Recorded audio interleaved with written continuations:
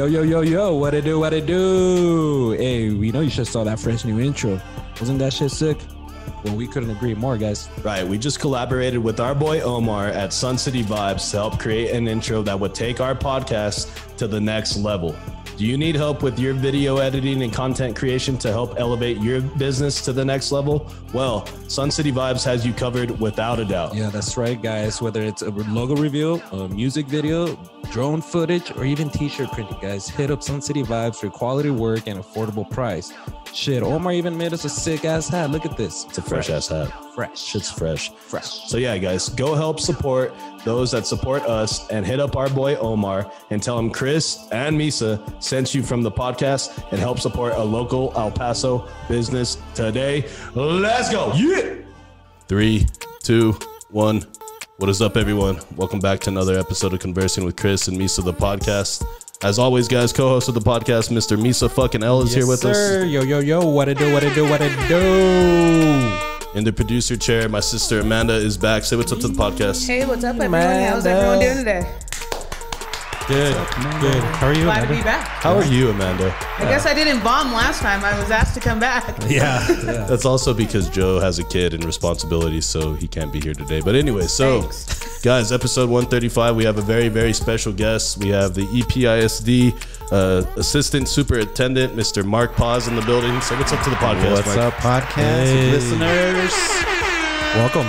Thank you. Welcome, welcome, Mr. Paz. So, um, Mark, we actually fucking we have a history here. Yeah, way back. Mark How is- old are you? dude? I'm now. I just turned 31 on Thursday. About so 30 years. Yeah, this guy's known me my whole life. He's known my sister like her whole life. Um, family member actually uh, knows my dad, uh, Mikey Nojos, David Rent- Renteria. Shout out to all those guys. Uh, but thanks for being here, man. It's really cool to have you in as a guest on the podcast. Uh, I know you're a busy guy, but uh, thanks for, for being here today. Give him a round of applause, Misa.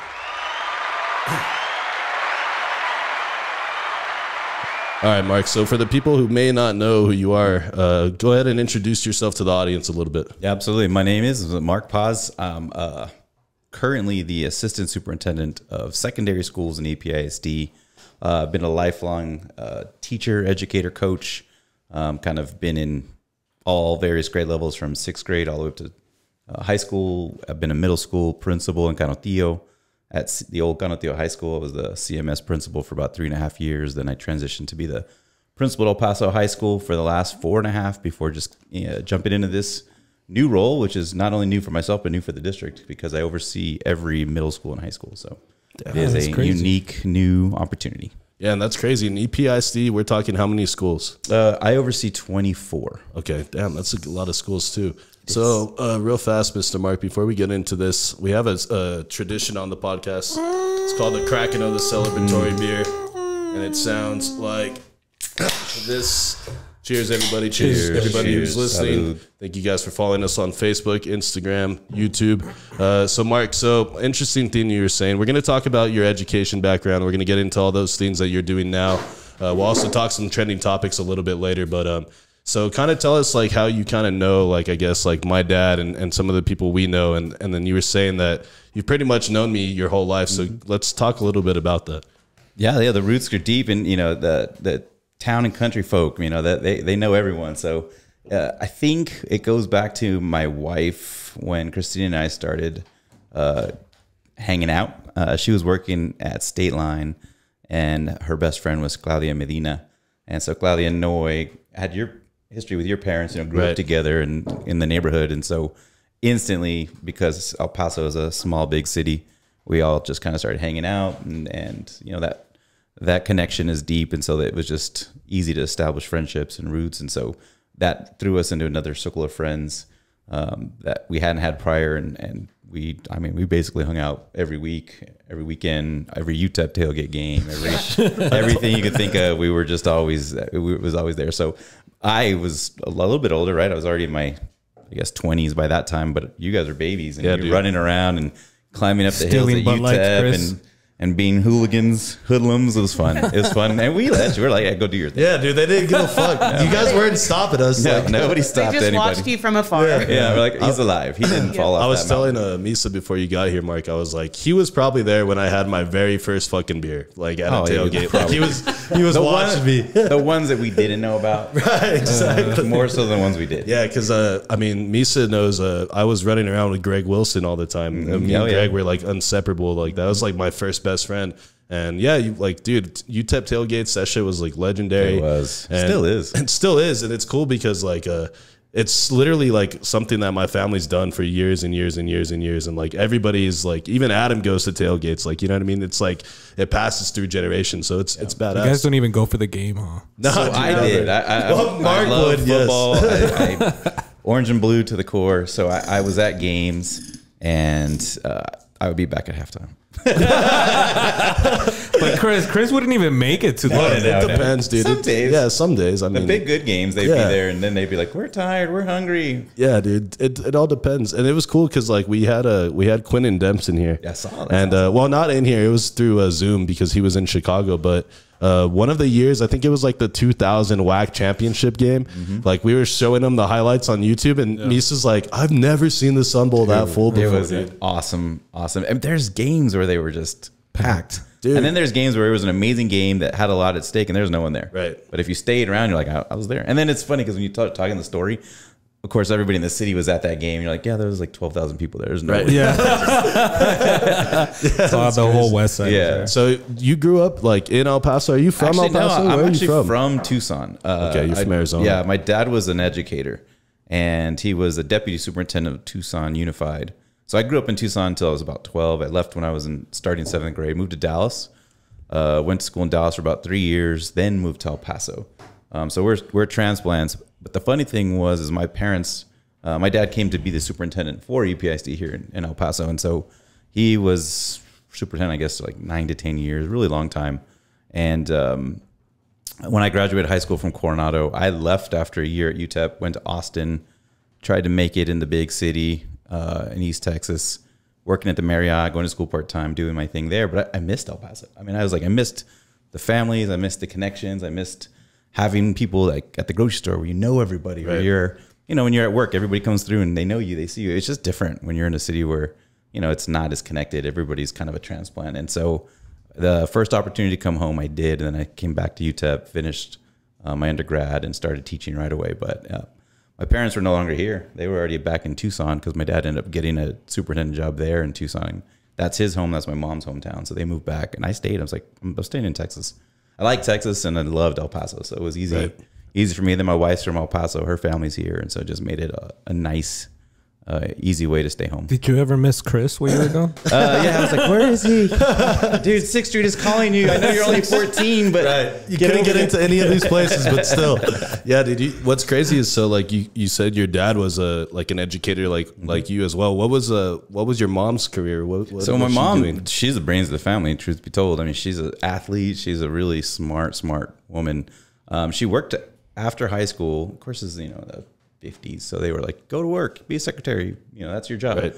She actually worked for Bartles and Jaymes.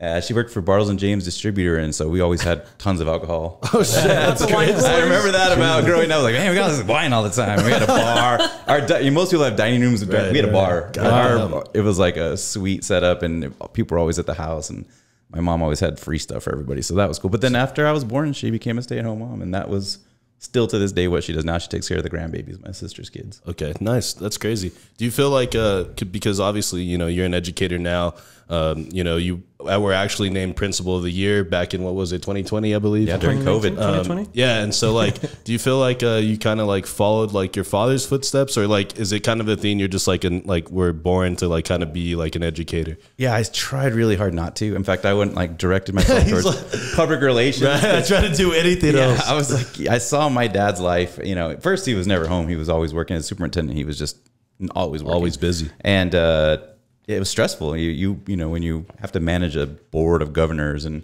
and all these schools, it was a stressful career. And so I, my perspective of education was very different.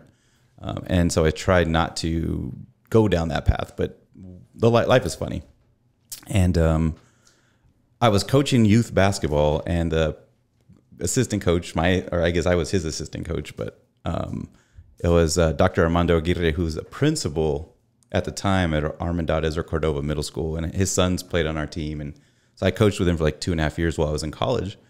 And then as soon as I graduated, he offered me a teaching position. I was like, no, no, thank you, man. I, I appreciate the offer, and and uh, but there's no way I'm getting into that path. I, I want to go towards this PR side. And I was working with Heather Vandenberg's dad at the time as an intern. Like TVO North yeah, America. working with TVO Right. with all the rest of the UTEP football teams.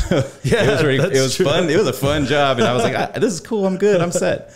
Um, but then I took a road trip with uh, my parents' best friends, Teddy and Chewy Martinez, who are like also family. And uh, just in that four-hour drive, they convinced me you should be an educator. Think about it: holidays, summer off. It's like the greatest life. you know, why wouldn't you want to do that? And I was like, "Yeah, you're right. That's the best." you know, I worked at Marriott for freaking 50 hour day weeks, 50 hour weeks, and it was brutal. And I was like, I don't want to go back to that. Right. And working weekends. Working holidays weekend. and Yeah. So it's shit. like, no, Yep. no, that sounds great. So I actually came back that next week to practice and I told the principal, or Armando, I was like, hey, do you still have that position? well, if I can coach basketball, then then I'll do it. He goes, yeah, you can coach. So it's done. Let's sign me up. What do I need? like that, dude. That's Yeah, crazy. And I wasn't an education major, so I had to go back to school and Okay. and to get certified to, to teach. So it was uh, a quick process, but it was worth it. And then it, from there, it all just kind of yeah, it was very Look at you natural. now. It was natural. Being in the classroom in front of kids, it was just a very.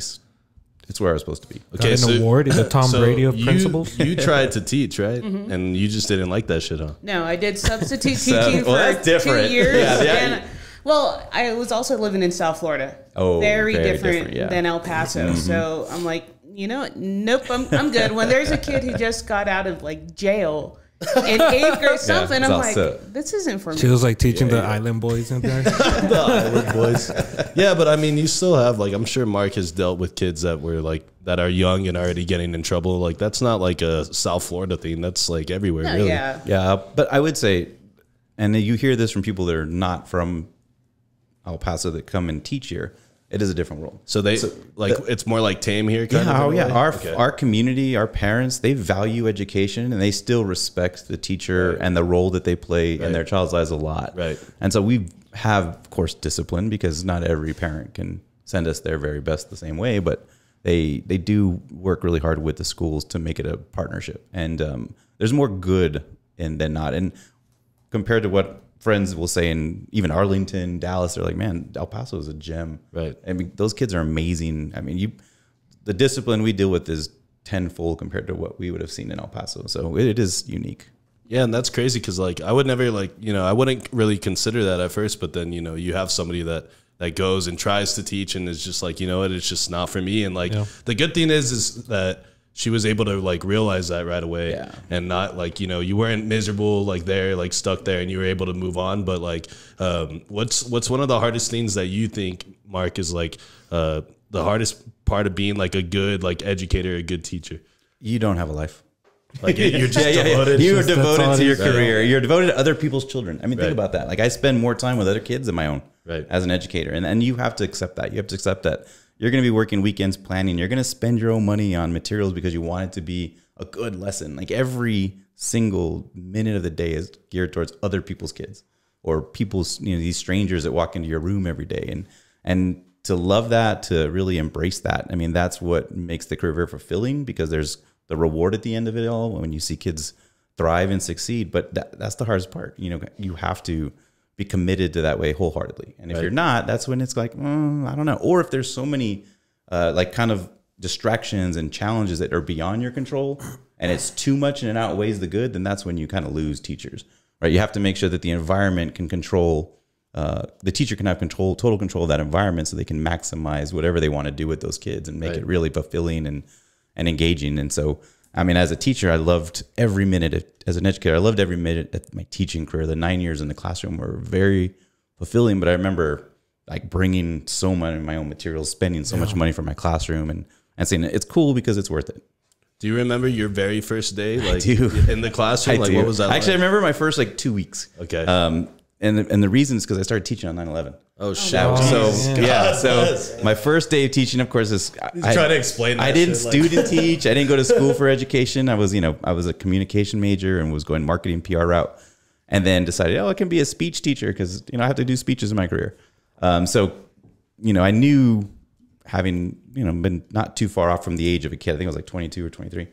Um, that I could connect with them and have a lot of fun with them. But I didn't realize how intense the planning was going to be and the different personalities. And I taught in a an essential school that had uh, you know had some serious challenges. Those students you know come from very different community than, than we here on the west side. They're usually growing up with a grandparent or you know three or four families in a home and you know are you know live paycheck to paycheck so they have those struggles and so how do you support them and give them big dreams and hopes when they're living day to day Right. you know and so I- it was it was a shift for me to like okay i got to change how i approach things i can't just talk about an obscure topic and think that they know it. i literally had to show it to them i had to bring in like music so they could connect to it i had to really like full circle teach everything because they were like i don't know what you're talking about and so to build those connections especially as a speech teacher that early couple of years when I was doing that, you know, exclusively, you're trying to tell them how to give topics on, you know, various things about the world, and you're like, oh, I've never left El Paso. They literally had never left like past the West Side, Right. or they've never mm-hmm. gone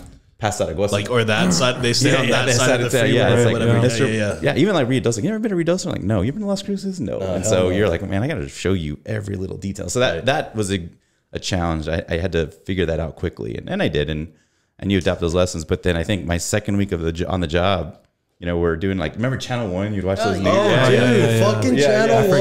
That was man. awesome. We're like, okay, turn on channel one. Why take attendance? And all of a sudden, we were like, uh, what's going on on that TV there? Like, is this real? What? Like, the kids were just quiet. And I was like, because you know, that no one's quiet during channel one. Like, no one's really, really watching. Yeah, nobody it. was really Yeah, watching yeah, that yeah. They're like kind of there, and you're talking, and so all of a sudden you're like, it's really quiet. What's going on? I look up, and I'm like, this. What is this? And then you're all of a sudden, you know, you see that first plane and the smoke, and the kids are like, they take that gasp, and you still don't think it's real. You're like, okay, this is weird. I get some pretty good CGI, you know. Like, Yeah. what's going on? And then all of a sudden, damn, there's another one, and boom, and then all of a sudden the TV went blank for a while. I think it like paused and it was gone because they were like, what if we can't have this live right now. Um, and then of course a few seconds later, the principal goes on and says, you know, ladies and gentlemen, you know, please Get under your take a moment. I don't, I don't think they did that. I just remember there being like a weird announcement of, you know, obviously we all right. seen something. This is all what happened. Yeah, yeah, yeah. and I remember instantly like kids just crying and freaking out because they have parents in the military and they're like, my parents are going to be deployed and what's going to happen? And we're under attack. And so instantly we're like, uh, okay, I got to figure out how to calm this down. Right. These 30 kids are terrified and looking at me to be that kind of The voice Tommy of reason voice. and Yeah. shit. Yeah. And I'm like, I'm scared. You know? Dude, yeah, that's freaking crazy. too, yeah. I'm calling my girlfriend. It's like, you all right? Do you see this? What's going on? Is this real? Uh, and so you don't, you know, you're in a classroom. You don't really have a connection to the outside. It's hard. You're kind of in a silo. And so you're, you know, I think we had like that first like, version of Motorola phone. Yeah, I was and I'm gonna say you didn't have hey, like yeah, an yeah, yeah. actual It wasn't a phone. smart I think Then. it was like a Nokia one unit, and you're like, is Smoke this Pulling out the going- fucking we- antenna yeah, like yeah. this and shit. Yeah, dude. I so remember it that was shit. trying to figure out what was really going on before we could say anything. So that was my first week. And I remember, so I always remember that week very Right. distinctly. Like, shoot, if I can do that, I can do anything. dude and and that's like what a unique challenge huh like the very like you're barely starting your career and then this one this event this historic event happens and you're kind of like oh now i have to fucking explain this to these fucking kids Never that I just happened met. before, and he's out here trying to deal with it with like 30 kids. Yeah, that's crazy. crazy dude okay so eventually you wound up at uh, Canutillo over here on the west side Yeah. um how was that like uh Canuto. like Like this guy did you go to Canutillo like I, for well, Canutillo elementary district. and Oh, all, or yeah, I went to um, Jose Damian for a year, and then Bill Childress. Oh, nice. Throughout the whole time. Our mom purposely like made us not go to Canutillo Yeah. like for real we she live in the district, Yeah. but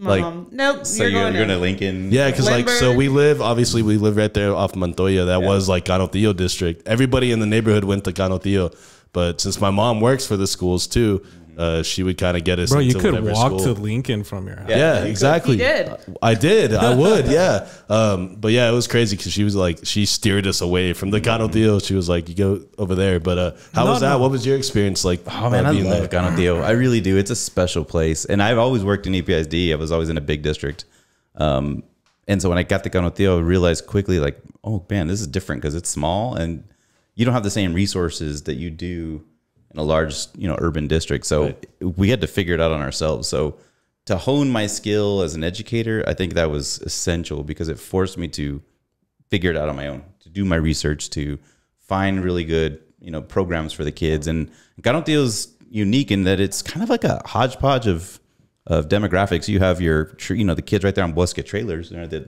live right there walking distance, and then your farm farm rural community kids, and then you have the you know the ones that live in freaking that little gated community right there off of Upper Valley. Oh, I know which one you're Yeah, talking I mean they they're all Canutillo kids. so Yeah, you're yeah, like, yeah. man, this is like a variation. I mean, I think at you have kids with that- money, kids without Yeah, money, yeah. kids that live on a farm and Yeah. shit. I yeah. don't know money. Yeah, and they're all in dress code, so you're like, I can't tell the difference of you guys. So we're gonna treat you the same. So. Y'all look the same. yeah, y'all me. like the same. You're all like hoodies and khakis, so who knows? Uh, but it was it was really cool, and you know, it's a tight tight family. I mean, those the Canutillo teachers, the educators, even the district, you know, the superintendent, they all live pretty much in the Canutillo community. So there's a lot of pride. And at the time And time, it goes back, right? Like Oh, generations. Because my dad, he went to Canutillo and his brothers and all that, and Mm-hmm. graduated from there. And that was back in like the 80s, 70s. You know, Oh yeah, it's there's deep, deep roots, and and even if they don't live in the area anymore, their kids will still come back to go to school there. And at the time, uh, the football team had was going to the Final Four, you know, making that pl- that push. So the, the pride was just even more exaggerated. So it was it was an easy transition to come in, um, kind of see where that campus was at, and then take it to another level because I just kind of fed off of that positive vibes, and I just used that to kind of change a culture and, and really make it amazing. The, the middle school is that the one by uh, Gallegos Yeah, Park? it's the old high school. that's the old high school, yeah. We were just talking about that. We were cruising over there yesterday or the day before, and she was like, "Is Gallegos Park even still there?" And Oh, I was like, yeah. "Yeah, it's still fucking popping, dude. There's people still playing uh, They have soccer baseball, tournaments everything out there." yeah. oh yeah. That's what's up, dude. I, I played uh, my like minor league or minor league, fucking like I played in the minor Triple A years, you're Fucking right there. Ivan Melendez over here and shit. No, I played like uh fucking what is it, pee wee baseball or Yeah. Yeah, whatever, just Little League. softball, fucking coach pitch, whatever. We that's where we we would play and like uh they had that the the school was next to that big ass pool. They had a big ass pool there, so I, I I remember that. But um, how does it like uh? So when when do you uh, decide like? Uh, between being a teacher and, and wanting to become principal, like what makes you want to make that jump? Like, why were you not just content with just like uh, teaching and not really getting into administration? Yeah, so it was hard for me because I was a coach too. I coached high school basketball. I coached, you know, some football. I coached track, um, and so those are fun. I mean, that's amazing. When you're a coach, the relationships you have with the kids is at a different level. Some of my players are like my godchildren now, and uh, we still keep in touch. So that's dope. Yeah, it's it's a it's hard to walk away from that because you're so invested. You think you're invested as a teacher. When you're a coach, you're invested even more. So like it becomes your life, um, and so you're trying to balance it too, you know, as a juggling act, and uh, you can't. Uh, it's it's hard to walk away from. So when it was an opportunity was presented to me. It said, "Hey, you know, I have a, a position as an at-risk coordinator at Irvin High School, and uh, I think you'd be good at that. I've seen you with kids, and it'd be a good segue." And I had just started working on my master's, um, and so I was like, uh, "I don't know. I'm pretty set. I want to finish school, but I'm I'm very." Open to risks. I don't say no to very much. Sometimes that's to, to a fault, right? Try this, okay. Uh, uh, it's hard for me. To, I, I I I jump feet first very often, and in my career, I've always taken those same risks, and it's always been very good for me. So uh, the the job was unique. And I'd never even like other than playing football or being at the gym at Irvin. I'd never like actually been to Irvin, so I hadn't like been to the campus and You didn't know what didn't like- know what I was yeah, getting You into. didn't Like, know what you but were getting said, into. Yeah, sure, might as well. And I applied for the job, and I got the job. And, um, And you said at risk coordinator. at risk coordinator. So I didn't even know what that was. I, Like, okay. I already know that kind of sounds like. you're- you you can tell by the title. You're like, all right, I'm working with struggling kids. All right, So but- these aren't going to be the straight A students. I like taking risks. yeah, yeah, you're talking about risk. So it's hilarious. So this is my favorite first day on the job story. So Irvin is no joke, right? It's it's got its own unique challenges. Obviously, you know, being in the triangle and just it with Chapin opening, a lot of the higher performing kids choose Chapin, and and Irvin has lost out a lot in some retrospects, but it's still got some amazing kids and teachers. But my first day on the job, it's actually the Friday before I'm about to start. So I'm, you know, wiping away tears and the kids are all crying as I'm had to tell them I'm leaving. It's my last day. And I'm like, sorry. And then I get to Irvin like a little early. Prince like, just come by. You'll see your office. We'll walk the campus. Well, I pull up and there's all these cop cars and like, I, I'm like, what the hell? So I, I, I get out of the car and the principal's running full speed, throws a walkie-talkie at me, goes, "There's a huge rumble on this football stadium. We got to go clean it up." I was like, oh, okay. So there I go running. Judge Haggerty's got like a kid in a bear hug on the oh. cement. Like there's all these, and it's funny when I got there. I was like, what the heck is going on? There's like these skinny jean like little dance crew kids, the rebels, fighting the with the rebels. cholos, and I'm like, dude, that's yes. that's not gonna work. This is gonna turn out like oh. Oh, that's so so funny you said that because I could El see that. dude. Yeah, that's Dude, that it's so Paso cool. back in the Dude, day. yeah. So they're like got their spike belts on their wrist and they're throwing oh. chingazos with their freaking spikes and like funny, trying to weave and wobble and like grab a I kid. and- remember those days. Dude, Yeah, so that that is was my first experience with Irvin. And I was like, then after the dust settled and cleaning blood off everybody, we're like, what the hell did I just get into?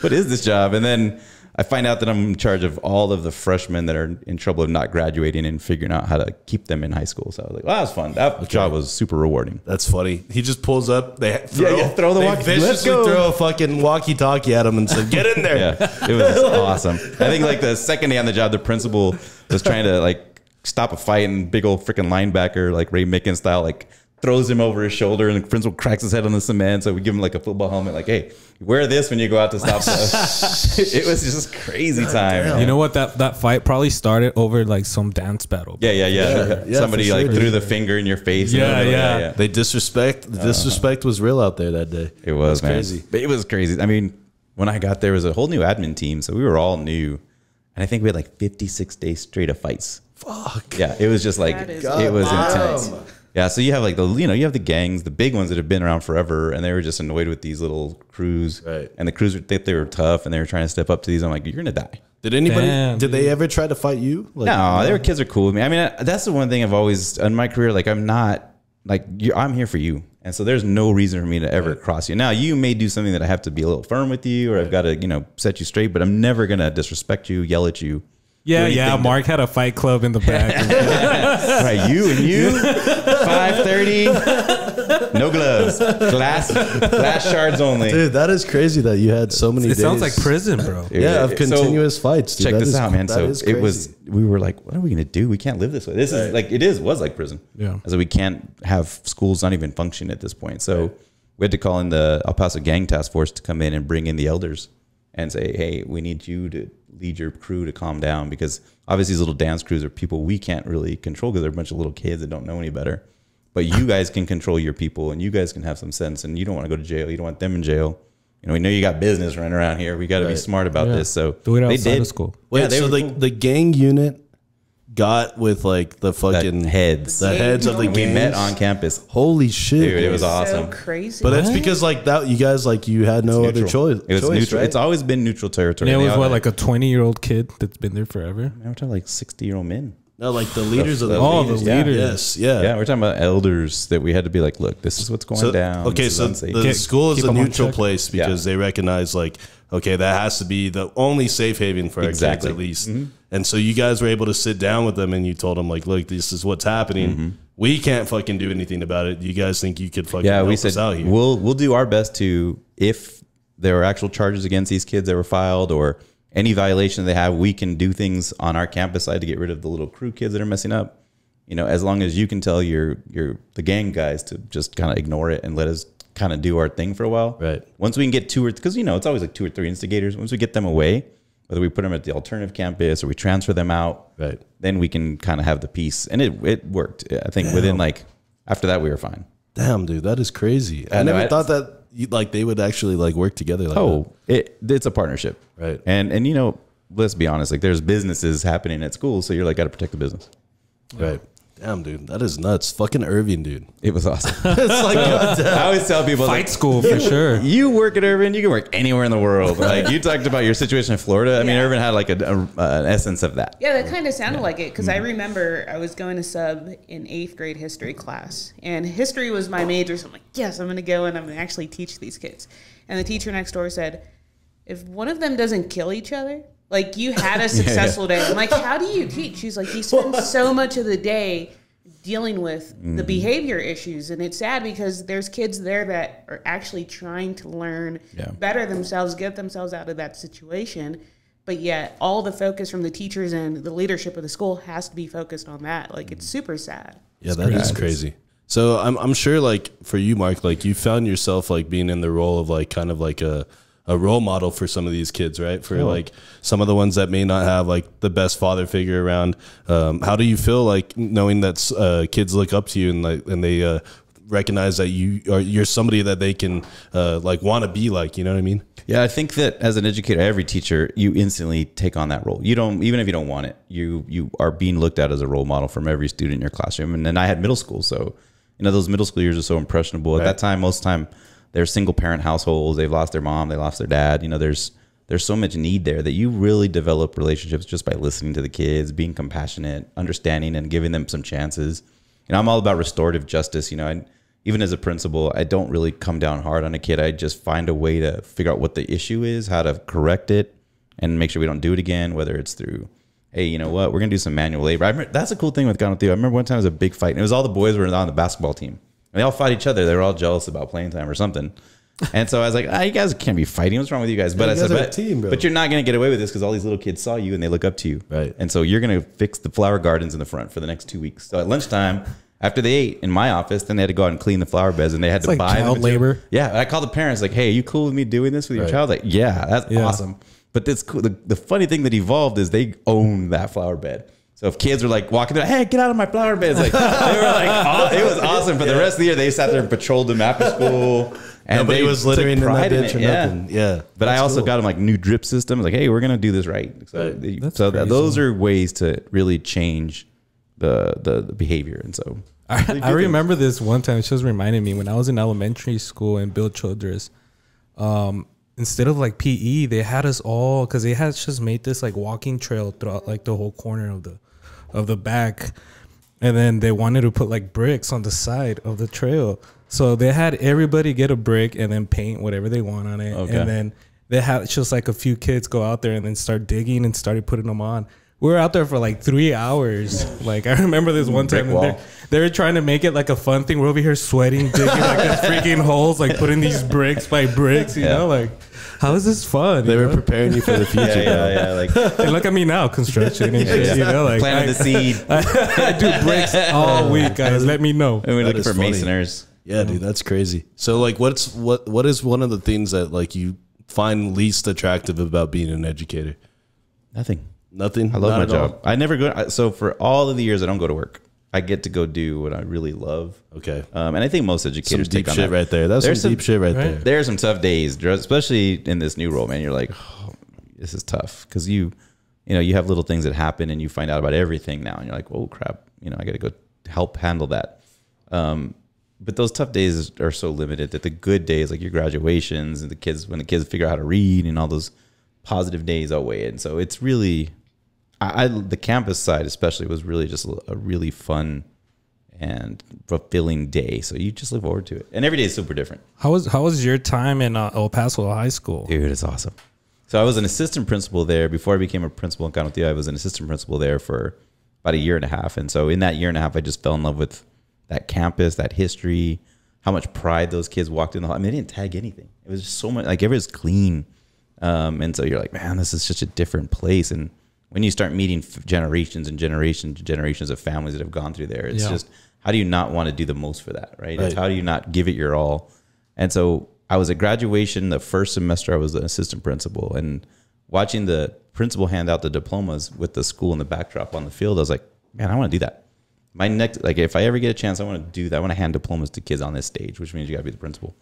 And so when Canutillo, when I had kind of gone in and did what I needed to do, and I had the experience, and I was kind of getting a little bored because like, oh, middle school's fun, but you know, it's not as exciting as high school. And El Paso High opened, I was like, yes, like let's go. I want back uh, because it is just such a special place. So you can do so many cool things, and that community is so supportive, and and that you know, it's just the mystique of that building is real. I mean, I've telling you, it's It's it's the oldest uh, Oldest. Active, right? it's the oldest active school that it was intended for in Texas. It's the oldest high school in El Paso. 1916, it opened old, the yeah. doors to students. Yeah, um, I think on the second half we wanted to do like we wanted to ask you if you've seen any like crazy We'll- we'll that happened we'll there. save it, we'll save but it. yeah, we'll we'll save that for the second half. But I wanted to ask you while you were there um, in 2020. I don't know why I censored myself. Do you guys did you did you see that? I, I said shit, but I said sh- I don't know why I did that. um, You're, anyways. you're next to an educator. Yeah, yeah, that's why I'm like, I can't cuss in front of the principal. oh, man, the fucking principal's here. like, god damn it, uh, dude. Okay, real fast. So, um, before I was before we get into this question, the one thing I didn't like about so my mom worked at fucking school at Lincoln with Yep. us while we were there. So I hated that shit because like anything that I did wrong. You knew Like it. if I You looked the it. wrong fucking way in class, like the fucking teacher would go fucking tell my mom. So Mm-hmm. like I couldn't like I just I would It not had want that. Pros and cons. It- yes, there it was- Did, yeah. Because if What were the pros for it? Well, Okay, so like one of the pros, um, okay, so at Lincoln they had a security guard, right? Oh, yeah. and his name was him. I fucking Fernie? was Fernie? Fernie, Yeah. Fernie, Fernie. Okay, Fernie. so um, what, dude? Well, we'll, we'll talk about that later. I can't next hear guest, you. the next guest. I can't hear you. Uh, fuck it. Okay, Fernie, he was a security guard at Lincoln, and he found a Game Boy, and he gave me the Game Boy because nobody ever claimed it. Oh, So that was cool. That was Sweet. a fucking perk. You know what I Yeah. mean? A free Game Boy. I'm gonna report that. And then I lost it at Walmart. So, you know, oh. it kind of just fucking like the world's just. Poetic justice. Yeah, yeah. It Well, just another sucked. pro is all the teachers knew you were, you know, who your mom was. Right. So whenever they needed something ran to the office, it was you. Right. So it's like, oh, I don't need to go back. I'm gonna go hang out with my mom a little Yeah. bit. Just Yeah. know. But, and then when you forget money on you know snack day, you're like right. Yeah, yeah. yeah. mom's or, here. or the lunch lady would just be like, you're good. Like, Yeah. you, Yeah, you yeah. could fly. Lunch lady give you extra. Need six pudding. All right, six puddings. Here's an extra slice. Uh, Until you forgot an assignment. my mom is my mom, dude. Sonia. Mother. Yeah, I don't think you know her, dude. I, I don't know. I have a question going back to the whole 20, 20. Um, so Christina's a nurse, right? Mm, yes. And you're an educator. So boom, 2020 hits. Christina's And his wife, too, by the way. Yes. So two of the largest industries that were impacted by the Mm-hmm. t- pandemic. How did you guys navigate that? Like your My poor wife, man. She's a so she is a nurse, but she's also a doctor of nurse practice and a family nurse practitioner who is the CEO of Centro San Vicente, which is a nonprofit healthcare clinic on Alameda. And they have a couple remote sites like Sanelli, Pebble Hills, downtown. Uh, so she, I mean, our worlds changed instantly, right? Both our worlds. Um, she was on the front lines of it. So you're talking about like those battle scars of nursing that have those The masks. hours The and masks. masks. Yeah, just I mean, she had as the CEO, she really had to figure out how to change how their organization functions and switch to remote healthcare if you can, and then making sure that everybody that walked through that building had been has screening. And so, yeah, she she's badass though. She actually led this country in her check-in procedures. And so after she did what she did to implement check-in and then start getting uh, vaccinations and tests done, she was the one that would like share with the rest of the federal entities on this is how you do it. And so that was pretty cool. And so, um, you know, there, of course, the revenue goes down because not as many patients are coming in, but she's getting all this extra funding for doing all the screens and all the tests and then getting vaccines in. I think she was one of the first, she was probably first or second clinic to get the Moderna vaccine. Oh, wow. So she was like popping it out to everybody. And then the cool thing she did was she said, okay, I'm going to get all of the healthcare providers at all the federally funded low income clinics done first because they're the front lines. Like hospitals, obviously people go there when they're really, really sick, but for the everyday, so that because you patients don't know they have it, right? There were so many issues where they didn't, they just, so many didn't even believe COVID was real at the time. It was crazy days, crazy town. So they were like walking in all sick and coughing. So they got all of the clinic uh, people. So not just her clinic, but everyone. So like La Fe and Project Vida, all of those. She made sure all of those people were taken care of first. A round of applause to her. That's good. Yeah. Shout out. Yeah, that is crazy. I didn't know like that she was that involved with like uh, being one of the first ones to actually get the vaccine in the city, and then uh, obviously you have to distribute it correctly, like you said, and so you wanted to go to the people that are on the front lines. But that was the year 2020 is when you won Principal of the Year, right? I did. And so how was that? Because obviously, like you're dealing with your issues, like with education and the pandemic, and kids not wanting to do virtual, or like you guys having to do virtual. Um, how was that? Like, why why do you think uh, you were selected as a principal of the year that year? Uh, You have to be nominated, and uh, I guess some of the colleagues from my district, some of the principals I worked with, decided that I'd be a good nominee. And then uh, once you're nominated, you have to kind of fill out some information about what you're doing. At the time, um, I guess as I was on my third year as a principal, and El Paso High was thriving, and we were already kind of very digital as a campus. I kind of already had switched to being a little more integrated with the technology, and so moving from campus to virtual for us was a seamless transition. And so I was supporting a lot of principals and like, all right, do this, use this platform. You know, here's how you can check to see if the kids have access. And so we were we were leading and supporting a lot of hot campuses, the things we were already doing and prioritizing. So I think just having a little bit more involvement in our day to day operations, the principals appreciated the fact that I could help them with that, and I was sharing everything. And I and I think that's what kind of helped at the time.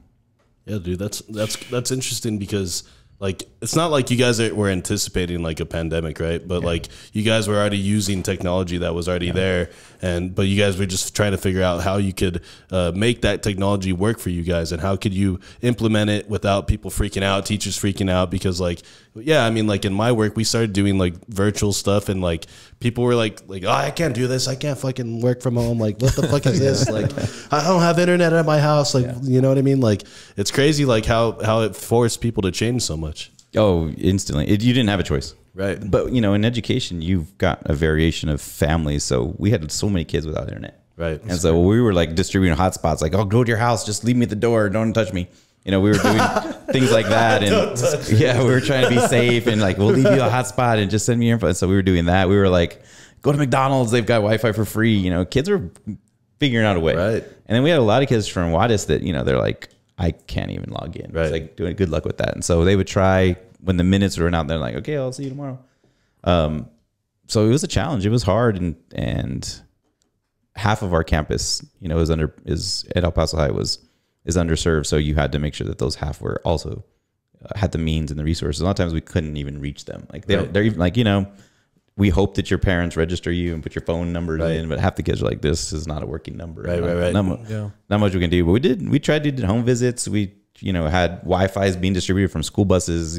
You know, say, hey, go to you know, just be in the parking lot. If you can just get to campus and work from outside the building in the air, you'll have Wi-Fi. Oh, 'cause shit, dude, that's So- crazy, yeah. yeah. You had kids like freaking lined up and outside, like in some shade, just trying to get the Wi-Fi up right there. it. Okay. Yeah. That's Damn, yeah. crazy. Yeah, so we were we were very flexible, and I, I was the only one in the building for. I mean, that whole time, I would after the first few weeks when like the whole city was locked down, Right. and I would be back at the campus, and I would be like, "Here, you know, I'll open the doors, do what you need to do, get you what you need," and I let everybody else stay home because it wasn't safe.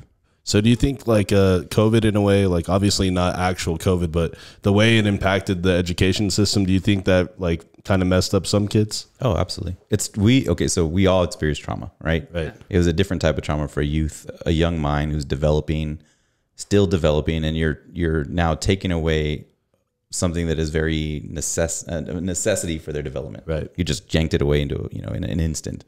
So you have a lot of those psychological challenges that are going to kind of linger. Um, there's a lot of isolationism. There's a lot of you know anxiety and fear, and then our our kids had lost a lot of family members. You know, whole family households died because of COVID. So you dealt with loss too. And then you say, okay, COVID's gone, jump back into the building. And of course, it's not going to be the same. And and uh, we the thing with the virtual world, and this is what we're experiencing now, even though we've had like a year kind of a, of our new normal, is kids don't really they feel like I don't have to go back to school. I can do this right. I remotely. can do this shit at my yeah, I don't need yeah. you to be in that room with me. But right, right. in their minds, they're right. But on the psychological side and the developmental side, it's very far from the truth. There- There is a balance to it now for an older kid, right, in high school. But your elementary or middle, ninth and tenth graders, like you, you need to be in the building because there's still so much that you need to learn and develop, and you need that social interaction. You need how to, you know, get support from your peers, but then you also need to come in and get some psychological treatment. So we put up, we, you know, in our campus, we're one of a few that actually had three um, emergence counselors on site so that the kids could have that therapy instantly if they needed it. And they used it. It was, it was a hard transition year last year. Yeah, man, that's impressive too. And like what like I think it's cool that you were saying like how like flexible you guys were. Like, hey, you know, we kind of don't know what's going on. So, you know, if you have to come fucking sit under the tree and, and get our Wi-Fi that way, then you know that's how it's got to be. But it's always like it's uh, it almost seems that you were never gonna like uh like your focus was always to make sure that like every kid still had that opportunity in a way and it and no matter what the obstacles were uh, you guys were going to provide them with the solution which is i think that's commendable give them a round of applause Misa. hey guys, just think that's every educator in the United States. Like that's that's not unique to us. I mean, I think all of our teachers, like just like the nurses, like kicked ass to try and figure it out. You know, because it, it was for kids, and so Right. they it was really a challenge. Just and- imagine the pressure and, the, and the stress that uh, you know that and it's so you. depressing. Like I would go, so we would still have to, you know, do unofficial walkthroughs and check in on the classes, and I would go in like, no, you, you guys seen Zoom box? It's just Right. names, right? Just Or a bunch of Zoom a cat boxes. and some random photo. Like what? This is so sad. Like this, like this teacher is like trying and trying to go through that lesson, and there's like no interaction. Like, what do you guys think? It's crickets. nothing yeah Like, are you guys even there? Hello. You know, it was so sad. and you know what's too. crazy is like even college courses are like that. Yeah. So imagine like high school, like dude, those kids are they're fucking playing Yeah, yeah, they're, and yeah, shit. like- exactly. they're fucking chilling, dude. Yeah. Okay, so we're coming up on 44 minutes here. Uh, so we're, we're gonna do, guys, We're gonna take a quick break. Uh, once we come back, we're gonna tell uh, talk to. Al- Uh, I was gonna call you Alex. I don't know why. Uh, you remember Alex Paz? I don't. Uh, he went to Lincoln. You remember him, right? Paz? Yeah, Alex. He was a big guy. Drives a Mustang now. Anyways, uh, Does he have like his cigarettes rolled up in his but anyway, we're gonna talk to Mark about uh fucking if you've seen any crazy stuff at uh, El Paso High. Uh, we're gonna talk about the history. Misa was telling me some of the history behind that school, so we'll get into that. Uh, we have trending topics. The Choco Taco Dude, has been discontinued, but it might be just a, a media campaign. So we'll get into that. You think so? Well, well, I'll, I'll sure tell you is. why. So, um, but we'll get into that. We have trending topics, and then we have five random questions at the end. So we're gonna take a quick break, and we will be right back. Try to replace me, but bitch, I'm one of a kind. You know, I be speed racing up on the highway 95. Look, I don't give a fuck why these niggas hating on me. Oh, wait, because I got your bitch tripping on me. She said my love promethazine got her leaning on me. Spanish mommy with that accent, bet she call me Poppy. Okay, yeah, she be hitting my phone like. All right, guys, we are back from break, episode 135, conversing with Chris and Misa, the podcast. The friend of the podcast, Mr. Mark Paz in the building. Hello, hello. sir. Hey, thanks for being here, man. Yeah, dude, Oh, for man, it's fun. Bro, this whole uh, education thing has got me, uh, you know, really, uh, it's got me real jazzed up, you know? Yeah. Ready for the Major, change the major. He's like, summer's off. yeah. Spring break. So, when is your summer over? You're almost done, right? Your Uh, summer's it's almost. when we, the kids come back Monday. oh, shit. Yeah. Damn. Monday. Okay, so this is the very end of the summer for Mr. Paz here. last weekend. Fuck. I don't get summer. I haven't. When you're an administrator, you don't. You summers are your busiest time. Oh, shit. Oh, That's wow. crazy. To the contrary. Okay. Yeah, there you and go. then of course I'm at central office, so there literally is no summer. Right. You guys are fucking nonstop, huh? It is nonstop. Yes. So what um okay, so EPISD is by far the biggest school district in El Paso, right? is the biggest school district and the second largest employer in El Paso next to Fort Bliss. Holy Oh, shit. wow. Damn. So they have more fucking employees than the city does? Yep. Oh wow, that is crazy. I didn't know that. Yeah. That's fucking nuts, dude. It is a Yeah, lot. that is crazy. So, all right. So Misa was talking about um, mystery. Um, Misa, Misa's a big history buff here. Yeah, yeah. I was Big I mean, history guy. yeah. And, and we were talking about El Paso High School, and, and everybody's always known that El Paso High School is very old. Um, Mm-hmm.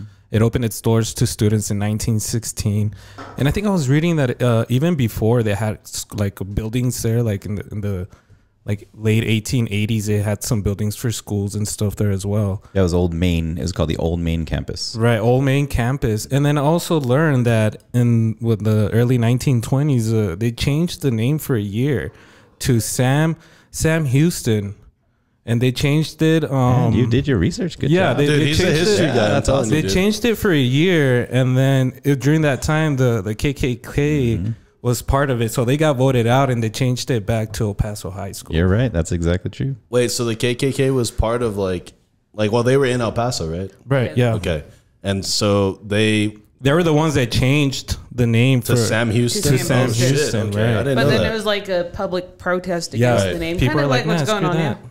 wow, that's crazy. And at that time, when they were building that high school, also um, the stadium fits what like t- twelve thousand people, 10,000, 8,000, something like that. So I've heard two. I've heard twenty up to twenty thousand. Wow. And about twelve. About twelve. Yeah, Yeah, I think and people were bigger I think now, it was so like the second biggest um, stadium out of concrete at that time Yep. in the nation. It's crazy. So when you went to El Paso High, like, um, did they did anybody like tell you about all this history, or is it kind of like, Yeah. Oh yeah. You. The, I mean, when you, You walk in take a that building, you take the class. You're like, okay, the first test is what year was your school born? oh shit, What's the fight song? Like the history is a part of the everyday. The kids, the freshman orientation is literally an entire like 45 minutes of just that exact history, and you have an alum who comes and teaches it.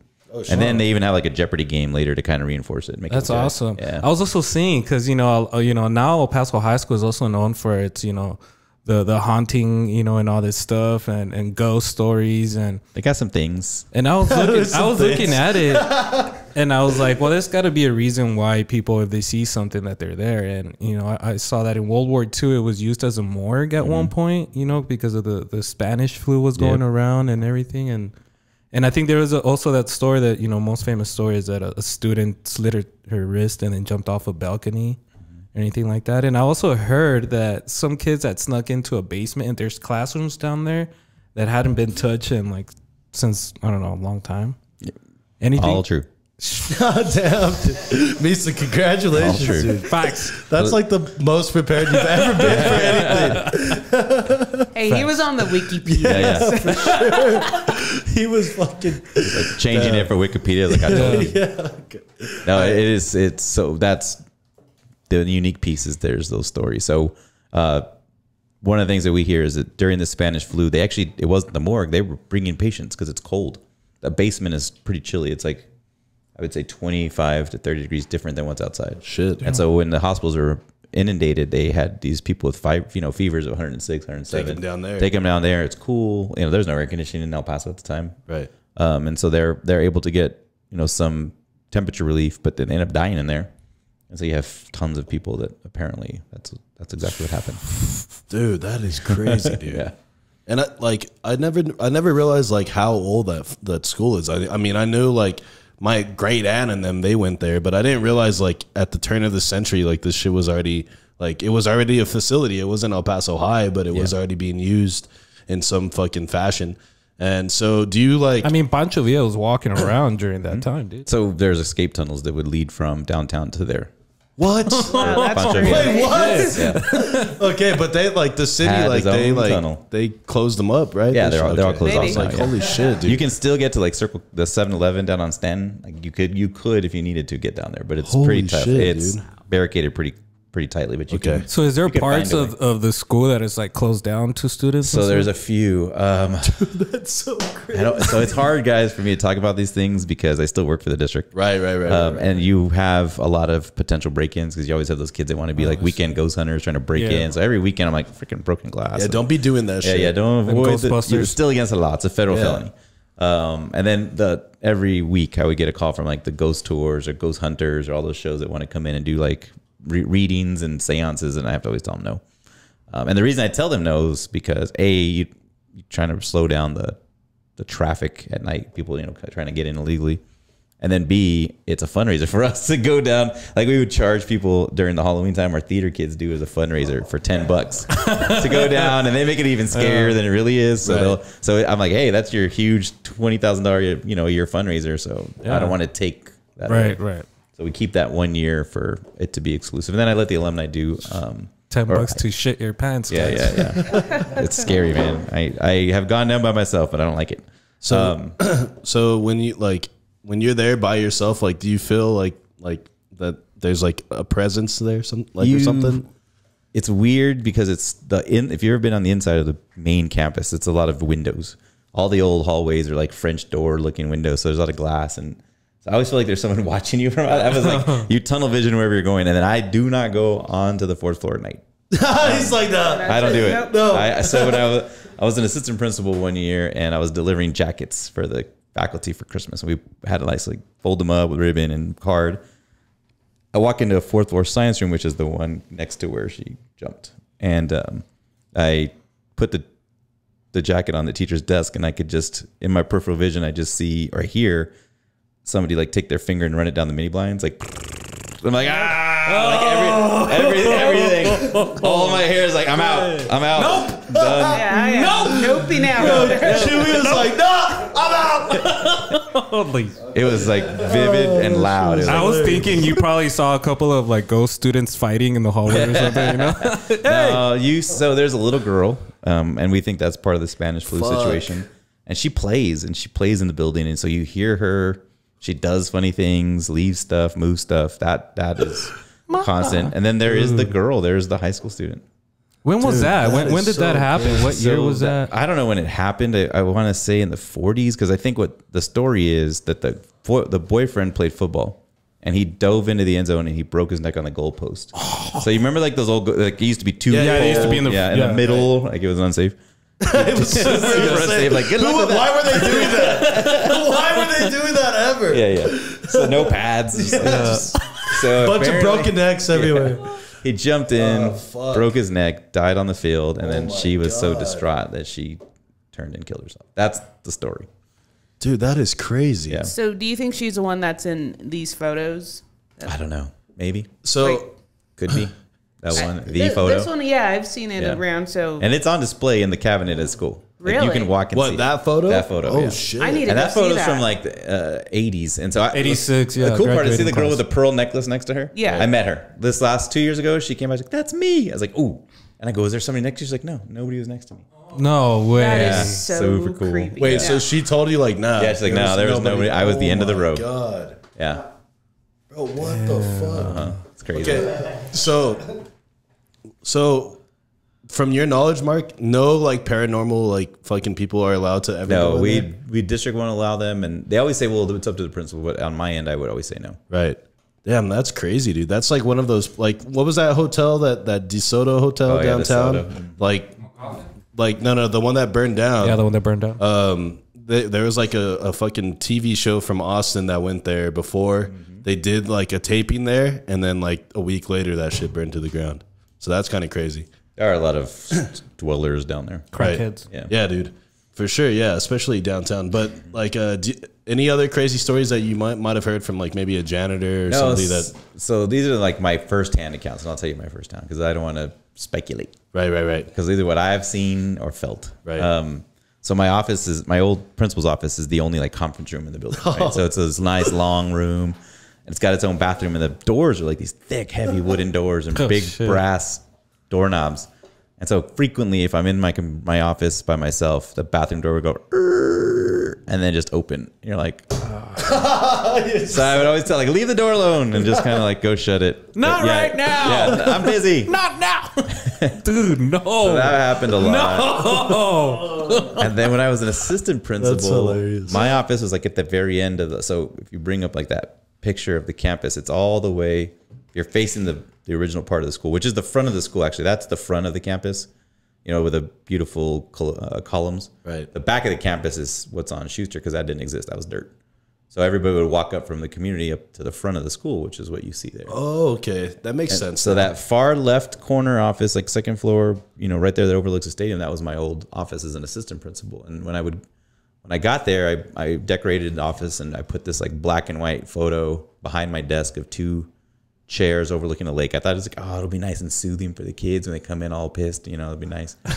and um, I would walk in every morning. First day, it's on the floor, not broken, just on the floor. I was like, that's weird. I check the back, the cord is all still intact. Next day comes, it's on the floor. Four days in a row, like hanging, it's literally just on the floor. On Friday, when I walk in, it's shattered. What? And I was like, okay, I guess you don't like this picture. I got it. All right, I leave it. So to not give in, I still put it like on a filing cabinet in the corner. And then I put a new painting there.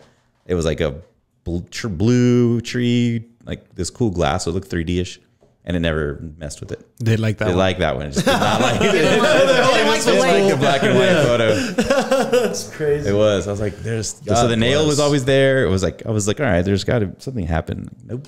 Yo, dude, I'm still tripping out about that football player, man. That guy gave his life for the team. Yeah, he did. There's a scholarship. There's a scholarship in his That's honor. crazy. There's this, since then there's been a scholarship in his name, and so there's a scholarship that the kids get. No way. Fucking Misa's like he really laid it all out on the field. That Can you imagine the locker room speech? He died for you. You at least freaking run. He gave his life for you guys out there. You're saying you're thirsty? Yeah, yeah. Oh god, you're, you're an asshole, Misa. So much. It's just dude. true. I just couldn't stop thinking about it, man. Crazy stories, bro. Yes, dude, crazy stories for sure. Fucking El Paso High. I've only been in there one time. I think I had like an, orchestra performance or some shit back On in the the old day. When I was Okay, little, so- we had our little bowl uh, for Pee Wee football. Our championship was there, man. I remember. That was pretty cool. Were you with the tribe? You know, I was with the Sun Devils. It- we oh, we won it back in like '99 or something like that. They still play that game there. dude. You know what's crazy is I didn't realize what you were saying. That like the front of it is actually the stadium side. Yeah. Yeah. Because back then Schuster wasn't a fucking thing. It was a well, if you go if Right. you go up, there's that picture of like the from the from the sky view. You can see right Yeah, there you go. Right. But like I always thought it was the other way around because you know when I first went there, I went you know through Yeah, Schuster, you you, know, so up. I didn't know better. Uh, but yeah, that shit's badass, dude. And I think that it's also ranked like one of the the top like nicest looking fucking uh, football stadiums. Number two in the country by ESPN. dude. That's That badass, dude. amazing. Just because of like the architecture and the way it's like like uh, settled into the mountain like that. and I shit's think the city backdrop is also the selling point. It's shit's called the. Lady on the Hill. Is that what it's the- called? Oh yeah, Lady on the. Hill. Okay. That's I didn't right. know It's that. the lady. Now, Nice. Are there any teachers that will refuse to teach teach there? No. Because- no. No, Okay. no. I, I would be the first. Well, because they're gone by like, well, Yeah, they- they're like, I'm down at four. By yeah, by four they're like, I'm out. it's too dark already. Yeah, all the fucking crazy shit happens Yeah. later on. like, maybe. So you remember like uh, on TikTok or on Instagram, there was like that little picture that was going around where like the there's somebody at the window. And they The get window, yeah, yeah, yeah, yeah. Yeah. I think that's a custodian because that there's like a little washroom area right there, and I think she probably just turned the lights off or he turned the lights off. okay, so that one was Yeah, like, yeah, but it was the fourth floor, so it's like ooh. He's like, I don't know. The custodian from the 40s, yeah. probably. That pretty, The dead funny. custodian in there just fucking flipping on switches. Who's leaving all these lights on? So you were talking about the, the- being in the theater for the orchestra, right? Right. So we were uh, a couple years ago. Um, Jordin Sparks did a benefit concert at the at the auditorium. Her, I guess, her sister passed away in El Paso at the Texas Children's Medical, and so they wanted to do like a temporary fundraiser. Oh yeah, there it is, like oh, let me. Oh. a temporary fund or a fundraiser to kind of make an area in her name, like dedicate a, a name. This is a bathroom, and there's like a little closet in there with Oh. yeah. Yeah, that was It's just like, custodian. okay. Sticking to that. So you were saying, So Right, we're we're meeting story. with Jordin's people, and this is the middle of the day. It's like at three o'clock, and I'm standing um, by the stage, facing the balcony. But I'm like I'm talking to the to the group. But as I'm talking, I see somebody stand up in one of the balcony chairs and walk into the what it looked like the wall. Like you know, you see a peripheral vision, you just see someone stand up and walk into the wall. So I'm just sitting there, and I'm talking to you, but in my mind, I'm waiting for that person to come back. I'm like, come back, like where'd you go? And then after like five minutes, I was like, "Ah, there's nobody. Like that person just walked into the wall. So No. that was like one time. I'm like, oh dang. And then it's funny because my student activities manager's like, you're right. I was like, I just saw her you're like, I just Yeah, saw yeah, a ghost. there she was. like, because it was in white. It was a white outfit, stand up, and then walk into the wall. Damn, like four had to go fucking like five five seats into the wall. did you believe in like ghosts and stuff before you worked there, or what? I'm Like, not or a- were you just I would like, eh, not it's believe whatever. it? Yeah, I yeah, mean, yeah. you know, there's it's too hard to not have Right. like some kind of in between. But I just at that campus, there's just a lot more activity. Right. There's there's something there. Something about that place.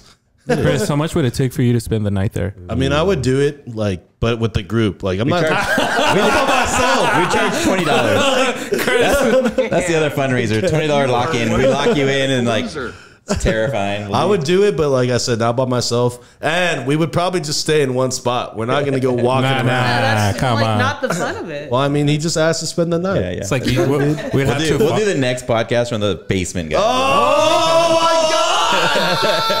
Dude, we just have like another voice on the like yeah, it yeah, just yeah. out of Just that white noise. yeah, that's crazy. Oh, Get here's a, so here's a secondhand God story. damn, this one that is, is creepy. crazy. This is a good secondhand story. So the prince, the new principal at Irvin is Robert Stives, and um, he was my testing coordinator back in the day when when he was there. And he used to come in, and it's on the first floor, which is underground. Like the first floor is actually the basement, and then there's a sub basement which has the tunnels and stuff. That's where those that's where those weird classrooms are. That Yeah. down there. There are classrooms down there. Like man, we Why? got in trouble and had to teach in here. there?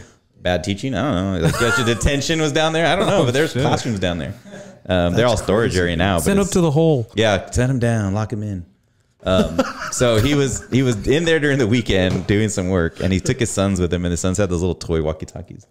And he said that he was in there, and the sons are like, "Dad, these don't work. These don't work." So he's fiddling with them, and then there's a voice on the one of the walkie talkies, and both kids are in there, and he's right, and he's holding one, the other son has the other one. They're little, and he hears, "What's your name?"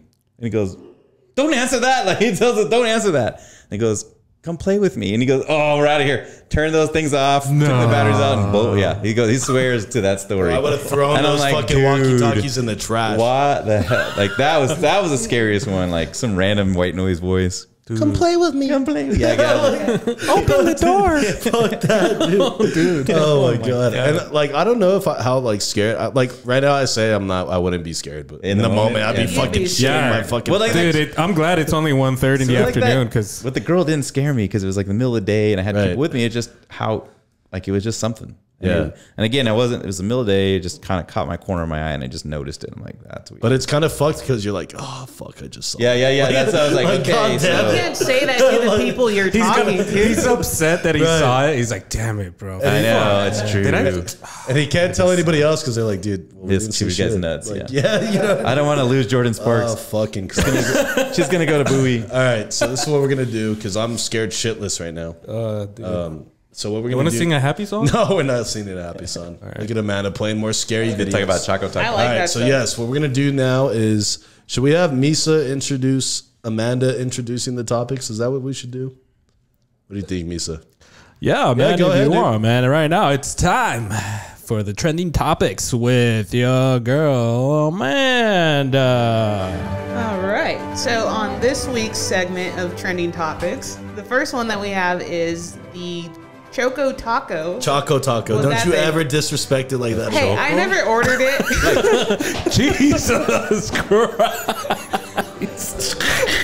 Choco. Ta- Whoa, had to, had to lay down the, the law right there. yeah. Okay, go ahead. Give me some more music. Dude, you had a fist that whole time. dude. It's like I saw a ghost or something. I'm still reeling from the last segment. So, um, apparently, Klondike has announced that they are discontinuing this um, well-known ice cream man or ice cream truck treat, Right. And it has the internet like just in a complete tizzy. Going wild. Yeah, Instacart, you know, their searches for it are up. Um, I pulled up eBay, what these things are. I got a box in my fridge. I'm rich. Let's start slanging those right now. but you know what? Like, I bet the ice cream men out there Right. have that in their Uh-huh. freezer. You they don't it. even know about this Right. craze, He's and like, they're bling, still bling. selling it for a buck Bling, bling. fifty. Right, right. Yeah. Fuck. That's how they started, right? That's how I read. They, Yeah. they started off like the ice cream truck. Only ones. Choco Taco. And dude, you know what's crazy is like uh, somewhere like I guess um, you know who else was very mad about this? Fucking our boy Chris Molina. Uh, when I showed him the topic, he was like, "Bro, I hate when fucking people go crazy for shit that's being discontinued." He's like, "It just shows how bad like or how much humanity sucks." Because I think what they're doing is they're like Twinkies, right? yeah, like the Twinkie thing. That's what he got mad about. He's like, it's like fucking Twinkies, bro. they said they were gonna fucking disappear. Yeah, and they, they, came back. discontinued Twinkies They for a little bit, and then bam, they brought them back. Damn, Yeah, they got all the rage. It's and like, then they came "Psych, got him. Yeah, Like, how come they can't do it, Zima? still waiting for Zima. Dude, I got my Jolly Ranchers ready, do you remember? Do you remember that drink? Yeah. They're Pull up young. Zima right now. They're too young. Z I M A. I remember that shit. Dude, Damn, I, I forgot about bro, that. Bro, I remember walking like in the desert, like back in the day, with Zima bottles all over the floor, over, dude. yep. Yes, dude. From high school kids, from 90s. Damn. So was that like the Smirnoff before Smirnoff? It was Smirnoff before? Smirnoff, Oh, yeah. shit. It was like after B and J, right. Like in between. And when like it was Zima or 40, you take a pick. Right, because I well, by the time I was uh, uh, old enough to drink, Zimas were long Yeah, gone. we like didn't that really shit was that. fucking. Yeah, but you probably those- weren't even able to drink They those. look huh? like like like straight up vodka fucking bottles, bro. Yeah. it looks like a great time. So it had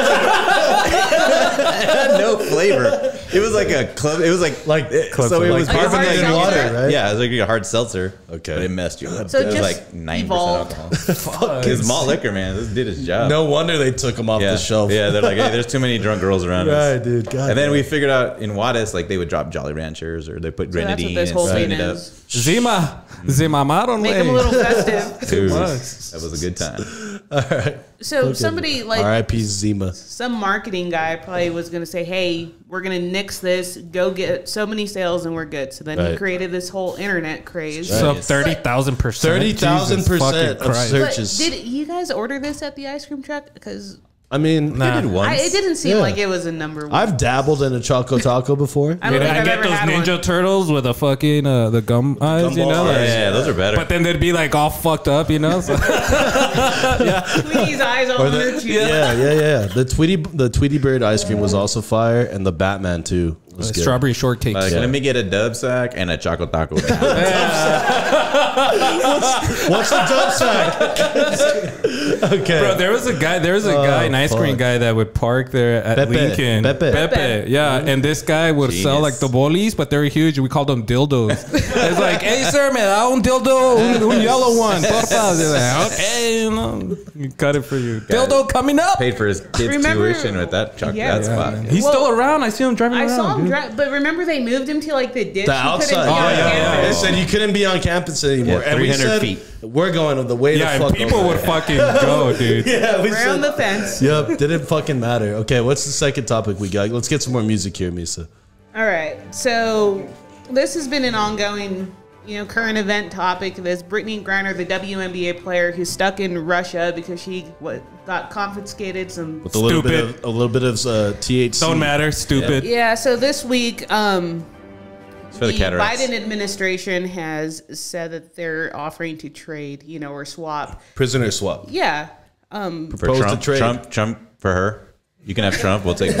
That'd be Yeah, a good swap. I think that would fair. be. I'm sure they'll they'll want. Brittney to- can dunk. What but they're Trump do? trying to trade this like arms dealer. Right. The most violent Of course, dealer his in name's world. Victor because Right. he's from Russia. from fucking Russia. Victor. but I think that, I tell you what, I want Victor. Victor Bout. I don't think that's an even swap. Well, well, An I also arms saw that dealer. um, they're not only just asking for this guy; they're as- asking for a convicted murderer too. Oh, they're gonna ask for the Right. house because oh, you want this chick back so Right. bad? How much you willing to pony? Yeah, but if you, if you guys have noticed too, um, there's also a talk of there's another American out there. He was a teacher, I believe. Right. And He they got caught sent, for they bud. sentenced him for 14 years of hard labor, Yeah. and like nobody like they're, they're saying the family's saying that Nobody- that nobody's ba- paying attention, nobody's answering them, nothing, and then for her, you know, they're willing to. We do could do an this endless supply of Choco Tacos for Brittney Griner. And Putin would be like, done. done. Let's go. fucking Putin.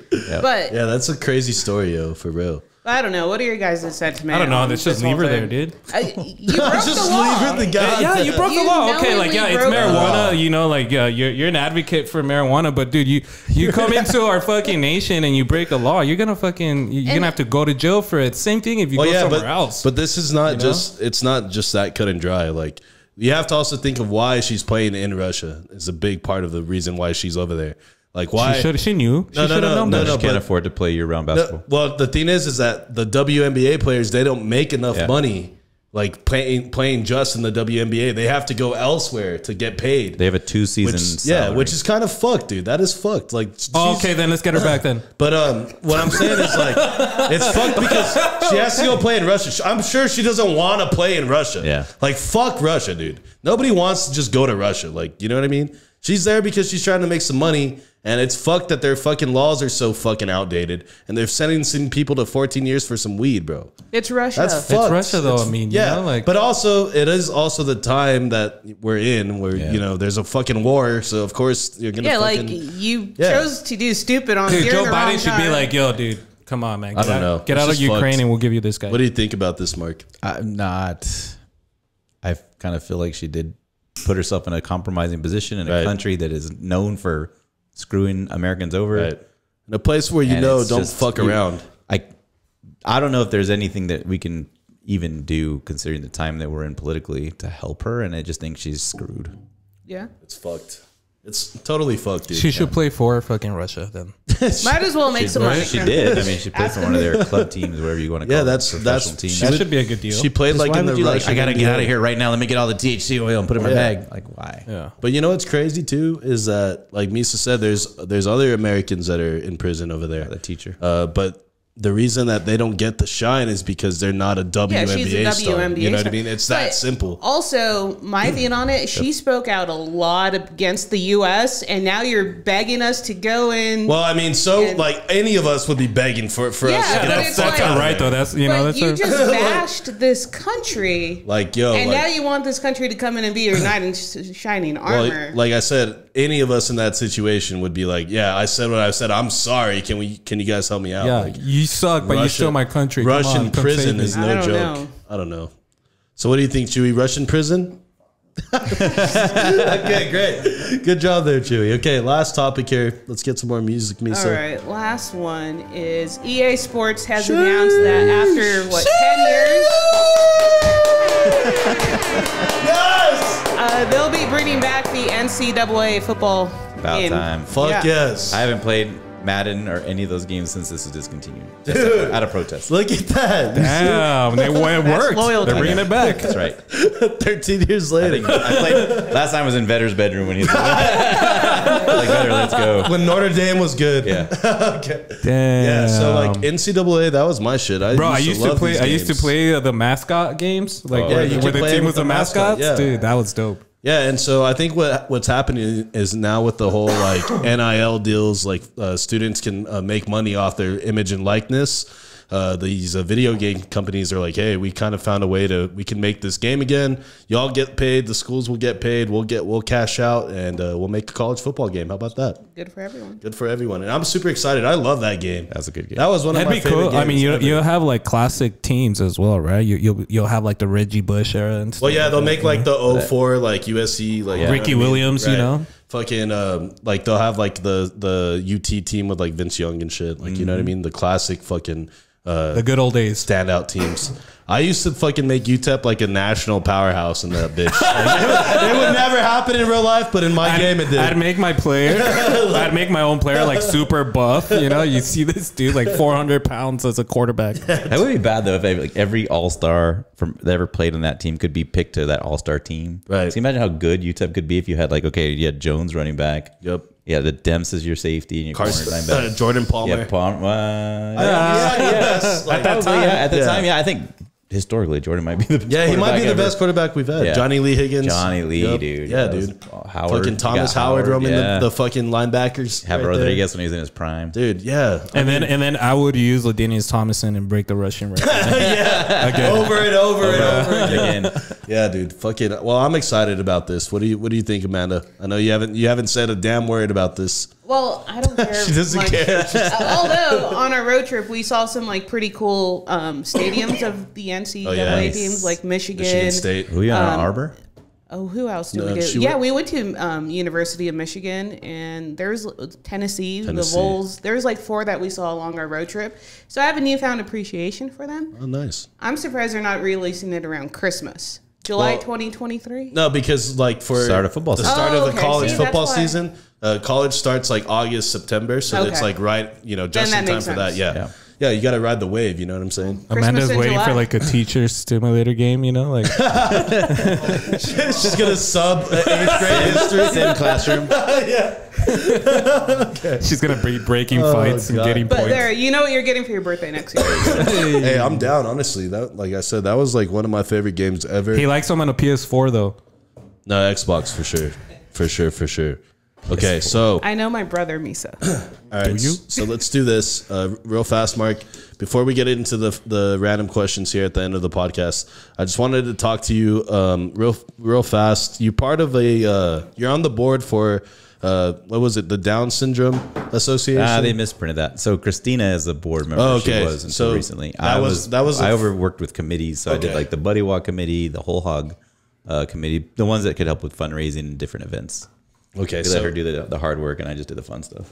okay, he's all I just take the credit for it. okay, He's so, behind the scenes. Yeah. Yeah, because I read that on um, I read that on your bio, and so I was thinking, obviously, um, when you have a child that has Down syndrome, right? So, um, what, how you know, if you had to tell talk to parents that uh, you know have a child or children with Down syndrome, like what kind of advice or like words would you give them? Well, it's a first. It's a blessing. Alessandra is now nine years old. Um, was a complete shock to us. We didn't know at birth to have a di- we didn't have a diagnosis. So it was as she was born, they show her to me. We go out and like they clean her up, and then they whisk her away, and then like, oh, we we'll be back. And so I'm like, okay, what's going on?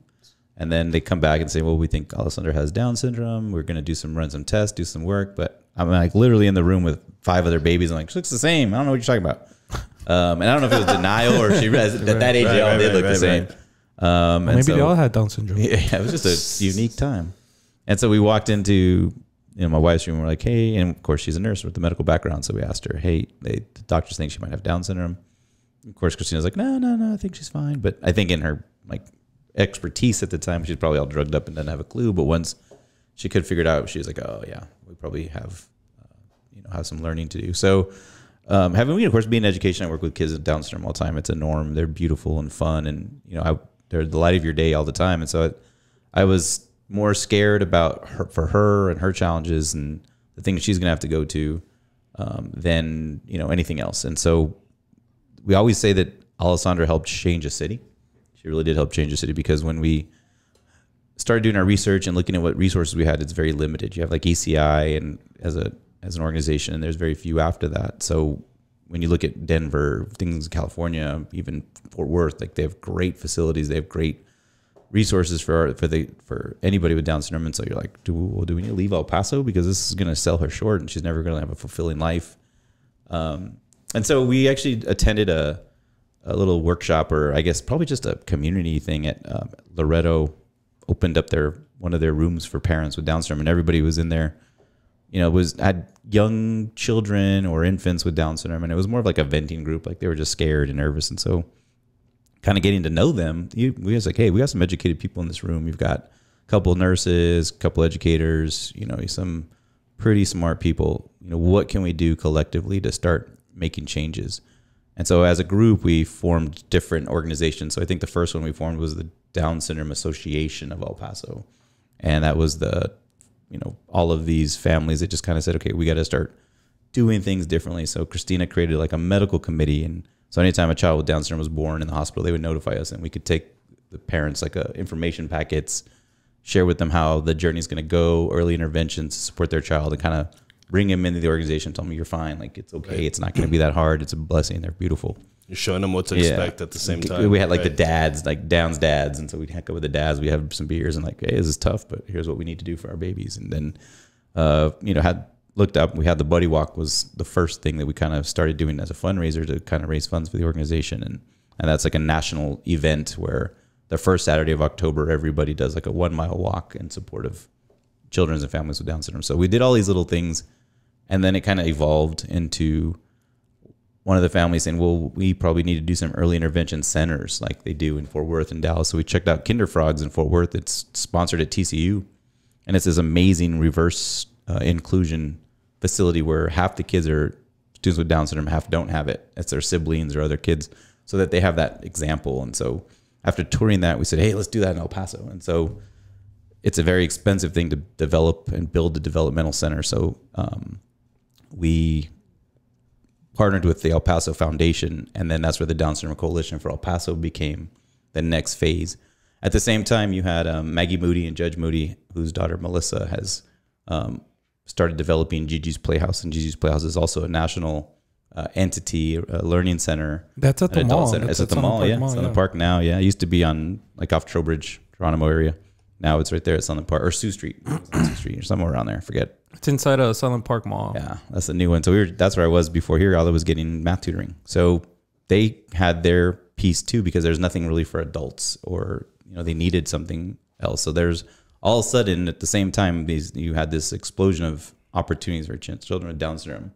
You know because of these families just kind of doing more and knowing more and being able to find the resources to support it. So the Down Syndrome Coalition has the Every Little Blessing Learning Center, which is a uh, 18 month to I think pre-K center, and that one's in the shopping center where Hobby Lobby is, right there on uh, Mesa.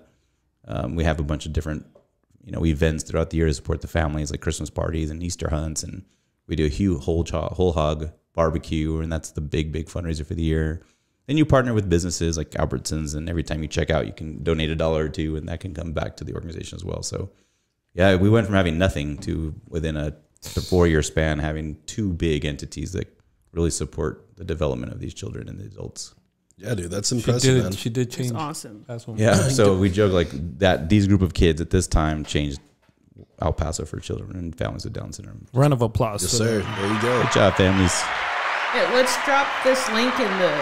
Yeah, we can bio. put this in the description. absolutely. Yeah. we can put it on YouTube, and we can put it in the podcast description as well. And uh, yeah, man, this is very, uh, it's very uh, interesting. And it's very heartwarming to see, like you guys, you It's know, important. yeah, working for the community, really. Yeah, and- and- because they were faced with the decision: do we relocate our Right. family? Do we leave El Yeah. Paso? Right. And then nope, they just came together collectively and said, nope, we're going to just bring this Yeah, stuff to El that's Paso. fucking Like that's badass. awesome. Yeah, that's great. Hell yeah, Mark. Once again, we commend you for that. Mm-hmm. Um, and yeah, Misa, give him one more round of applause. We couldn't get enough. And you get a real round of applause from True right there, too. Wow, look at that. All right, guys. So we're at uh, 38 minutes here. Uh, we're going to get ready to wrap up this podcast. But before we do that, uh, does anybody have the time? Does anybody know what time it is? True, do you know what Fucking the time? time it is. Blue, do you got the time? Nobody's got the fucking Nobody's time. got a time. What time is it? Well, I got the time. You know what time it is? It's time for the five random questions here at Conversing with Chris and Misa, the podcast, hosted by your boy Chris Marcus. Mark's like the only person that didn't give you the actual time. He didn't even look, bro. he gave zero. Normally fuck. everyone's like, "Oh, it's 146." he's like, "I watched the show. I get it. I got you." he's like, Y'all trying to fuck with me? That's what he's saying. okay. All right, Mr. Mark. We got five random questions for you. Uh, are you ready for this? Let's man? do it. Are you ready? Let's do it. Chewy, you ready? Misa ready? Okay. Let me get some uh, music here, Misa. So, if you had to be on one of these two game shows, would you rather be on Who Wants to Be a Millionaire or Family Feud? Oh, Family Feud. Uh, yeah, you can say dirty stuff all the time. and Yeah, yeah, get you away with can. it. But, you, but you- you- do you think you'd be good at Family Feud? Oh Feud? yeah, I love. I like the speed round. If you don't put me in the speed round, we ain't winning that. 10. Oh, he said, let me get the speed, Speed round. round, yeah. Wow. I love that show. It's just because, like, I, I like that show, but, like, some of the answers, it's because they pull, like, a Yeah. certain group of You people. gotta think like crazy people. Right. So you got to think sometimes, like, how, like, not dumb or, like, Yeah, but, yeah, like, yeah. Dude, and it's almost- just yeah. fun The having Steve average Harvey human. there. The average human common being. folk. yeah. The comedy from That's my Steve. favorite. Like, all right, think like somebody that would answer stupid answers. That's why I like that. How show. would Misa answer? Yeah, and this? why do I connect to it? Like, why do I know all those damn answers? What's wrong with me? yeah, what's wrong with me? yeah, that's funny, dude. Yeah, I love the Family Feud, but I like uh, Who Wants to Be a Millionaire just because like the lifelines. I would only get past like three Like- rounds like of the like. first I three would, rounds, I would Used all rather my do that, uh, that deal or no deal. Oh yeah, deal, or no deal. I haven't seen that. I like that one. before. The deal or no deal, I think, would be more stressful. That wasn't an option though. Yeah, it was, it was A or B, dude. You picked C. God damn it, Lisa. This or that. Okay. God damn. All right, Hey, question. no, but with Harvey, dude, that guy's funny. Dude, Yeah, he is bro. funny, dude. He's crazy. is. And then, like, when he sees somebody answer like something crazy, I know. he You're like, him it makes me. Yeah, Yeah, he's like, whoa. Damn, you said like- that Yeah. on national air. Your wife is here. okay. All right, let me get some more- more music. Question number two, Mr. Mark. Mr. Mark, you look you look built. You look Hey, like hey, you're hey, in, thanks. you're in good shape. Thank you, Ethan. Um, do you think uh, in a NFL game you can make at least one tackle? Oh hell no. No, not at all. You don't think, Uh, bro? At the goal line. NFL g- one the goal tackle? line. One Dude, tackle. Uh, running back's thighs are my size of my body. I mean, It's like, what's the worst that could happen? Break your neck and die? yeah, like your receivers now are like six five, looking like you know. 380. That's I don't know, man. That's, I feel like you could take down. Ah, I, know. think What if, if you what if it was 10 okay? years What if ago, I would what if it was said yes. what if it was like a fake punt and it's like the kicker running? Oh yeah, I could take kicker. It's like in that case, yeah, In that yeah. case, yeah, I could take it. Easy, easy, light work. I'll just go for the ankles. Aim for the knees. For Yeah, the legs. yeah. Fuck. I have you being like a Tom Brady in the NFL. I don't know why. i'll last forever. Yeah, just like, but like very like On like the uh, bench. Well, no, no, the whole time. On no, winning, winning I been a fucking good Super, kicker. Super Bowl rings. What position would you have played in the NFL? Uh, I would like to play something like tight end. Okay, I was gonna say I have you as a like a defensive end. I, You know I, yeah, I that, mean? that would have been fun too. Yeah. sacking quarterbacks. yeah, you dude, know. a little Messing Mark- up the- Micah Parsons out Yeah, there. but tight end's fun because you got a little bit. You get to like shred people and block them, Right. but then you can receive and get some glory. Right, that's yeah. Chris would be like the long snapper because he just oh, do the dude, long snap and then he just stays there. That is the bo- that you can be any size. There's a blind guy at USC. There's a long snapper, so that's actually Oh the, shit! I didn't yeah, know that. perfect. If you have that crazy. skill, they don't care what how big you are. Right. like Yep. you need to do that because there's so few Right. long snappers. that can snap accurately. Yep. Okay, that's crazy. Yeah, you look like Rob Gronkowski now that I. Ah, yeah. Uh, I'm gonna make sure Rob listens to this. oh, he listens for Question Yeah. number three. Let's get some more music here. Mr. Mark, do you have an all-time favorite band or musician? Oh, so hard. I love music in general. I think all time favorite band.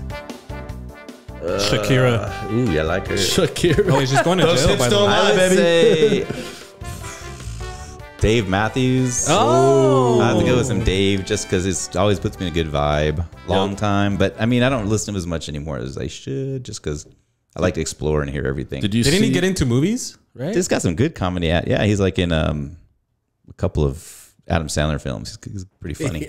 Did you see uh, Dave Matthews Band when they came uh, to the Sun Bowl Yeah, with the, with the Rolling Stones. Stones? Yeah, actually, it's kind of lame though because they were trying to outsi- outshine the Stones. So he was pretty submissive.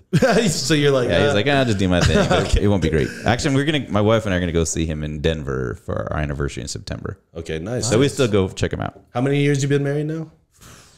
17, 16, 17. There you go, man. Yeah, a while. Congratulations. Thanks. Okay, question number four. Let's get some more music here. Mr. Mark, what is your favorite ice cream flavor?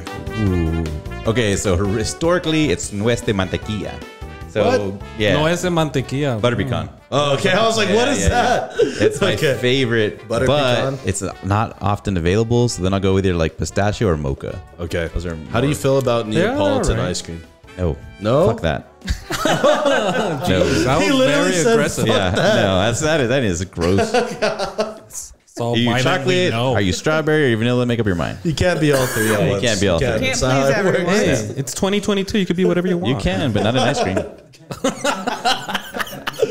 Okay, question number five, last one here. Yeah, you just pissed him off, Chris. Stupid question. That's a good question. That's funny. Actually, I'll eat all the I thought he was gonna say and be like, Choco I'm. Taco. All right, Mr. Mark, in your uh, in your um, for you for you, if you can only go to one place to eat in El Paso, where are you going? Best restaurant out there. Oh, that's well. So I, my family owns a restaurant, so I have to be very strategic. They Right. own, my wife's family owns Carlos and Mickey's, and so That place I is love That's a good that place. Guess where go we're often. going. It's good, delicious. Kind of an event, right? To go there, it's kind of like a, a thing to do. I don't know, man. I don't know if I have. I love food. I'm a foodie. You're so foodie. I eat anywhere. Anywhere is good. I don't care. Um, Besides Carlos and Besides Mickey's, Carlos one, and one Mickey's, other. We just you need know. one. shoot. It's like McDonald's on Paisano. so I don't like chains. That's the one thing. I'm not a very Right, right, big right. chain person. Like I'd rather be local and authentic. Ellen J's. L&J is good. I was just there with Dave. Leo's. We had Dave and I had lunch there the other day. It was good. Um, I like Leo's. Leo's, Leo's is, is like fire, yeah, bro. it's Leo's good, is so man. goddamn So, good. I love that That's my dad's favorite restaurant. So every time he goes in town, we got to go to Leo's. Man, I, I don't know, man. I don't know if I have like a go to. I just like them all. I like. I like them all. I'll take them all. If you're local and delicious, I'll go. Am I the only person who doesn't care for Leo's?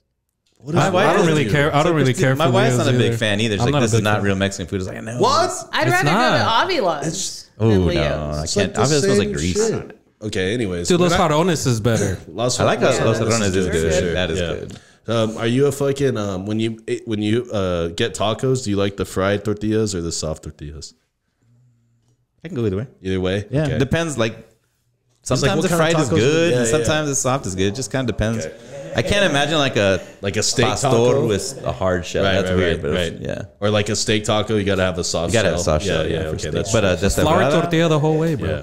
Whoa. Yeah, you see, he knows what Homemade he's talking flour about. tortilla. Mm. Uh, I don't Hit know. me. That's that's not on a taco. All right, those were our five random questions Those are with our with our guy Mark here. Uh, so what we're gonna do is we're gonna get get ready to wrap up the podcast. We'll go around the studio here and give our final thoughts today. Let's start with you, Amanda. You know, um, thanks, Mark, for taking your time and being with us here What happened today. there? I had a reverb. she had a stroke. She's still She's like. Leo sucks. Fuck Leo's. it's like God goddamn. I was gonna get, take you there after this, but forget it. Can taco see it is? Yep. Okay. Um, but thank you for taking the time to sit fun. down with us and you know just share the different um, things that you guys have going on, the work that you and G- Christina are doing for the Down Syndrome Coalition. Like that's just awesome. So to have people out there, educators, nurses, things of that nature in in our community, like it makes me feel good to be back home. Yee, there Nice. you go. There you go. All right, Mr. Final thoughts on Yes, today's pod. Mr. Paz, man, thank you so much for giving us your time. Oh yes, sir. Um, I really appreciate the job and the work that you do. It takes somebody very special to um, to do that job and to do it right and to actually love it. Um, I couldn't I couldn't do it for a minute, dude. I'd, I'd quit for sure. But thank you so much. Um, good luck on this new school year. Thank you. Um, I wish you the best. Uh, thank you, Chewy, for showing up today on time. Appreciate you, guy. Fresh kit, by the way. Yeah, Sweet. Fresh kit. Um, everybody listening, guys, thank you so much. Uh, you guys make sure to stay safe and stay fresh. Mr. Mark, final thoughts on today's podcast, man. I appreciate the visit, uh, the opportunity. It was fun to visit with y'all and, and reminisce. Really, this is Yeah, like, dude, we haven't for seen sure. and hung out in a while. Like the last time was at Old Can Rays a couple of months. Yeah, I was like, gonna say at ago. Gasoline Rays, right before corner COVID, bar. huh? Yeah, Yeah. yeah, we're hanging out. Uh, my last beer turned to like seven shots, and yeah, I was leaving guys, for like three I hours. Go, I gotta go. Really, this time we gotta go. Uh, Christina was like, "We're staying." I was like, "Okay." Yeah, dude, Uh, so that was good times, and any time to talk about, you know, what my wife and I do. It's we're passionate about it, so it's easy. That's what's up, man. And uh, yeah, final thoughts for me, guys. Mr. Mark, thank you once again for being here. Give him a round of applause, Misa. I knew this was going to be a good one. I mean, Yeah. you know, we've friends off the pod. So you know, this was just like a matter of formality, getting you in here and and, and talking to you and letting you tell your story and kind of uh, letting you showcase like what you've been able to do for yourself and your family and everything for the community. Like all that shit is really really appreciated. Uh, so we have an open door policy. Anytime you want to come back, round two, uh, we can make that happen In the basement. Uh, yeah, dude, in the In the fucking basement. basement. of El Paso High. That would be epic. Uh, Amanda, thank you for stepping in in the producer chair. Misa, good one. Chewy, you're fucking beautiful, bro. Look at him, dude. That Juventus kid, shh, god damn, he looks two like chains. Cristiano Ronaldo right there. uh, for all our live audience, Blue, our cousin Adam, thank you guys for being here. Uh, thank you all for subbing on YouTube, liking us on Instagram, following us on, on Facebook. With all that being said, episode 135, we are.